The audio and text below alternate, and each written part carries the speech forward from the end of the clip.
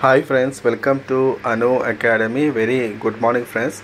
In today's class, our subject is kinematics of machinery and uh, we will discuss uh, how to write uh, answers for the asked question. And the question is distinguish open and closed pairs. So open pair when the two elements of a pair are not held mechanically and are held in contact by the action of external forces is called open or unclosed pair example cam and spring loaded follower pair. And next one closed pair.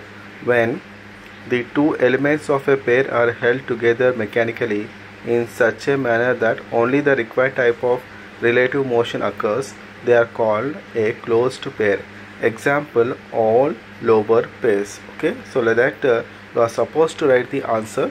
So it is uh, Uh, we are differentiating open and closed pair. So like that you have to write out the answer